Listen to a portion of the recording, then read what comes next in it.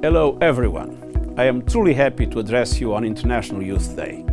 As Secretary General of the United Nations, I am committed to the empowerment and inclusion of every young person around the world.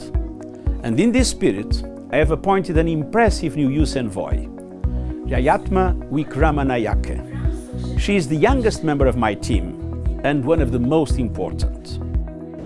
Today's young generation is the largest in history. There are currently 1.8 billion of us on the planet, which poses an amazing opportunity but also some challenges. Today, 73 million young people are unemployed. Over 600 million young people live in fragile or conflict affected settings. And more than 400 million young people don't have access to essential health care.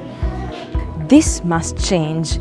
We are committed to working with and for young people to recognize and uphold their rights and promote their global citizenship. And that's what I'm here to do. Join us in mobilizing young people. And together, we can create a peaceful world for generations to come. Thank you. Thank you.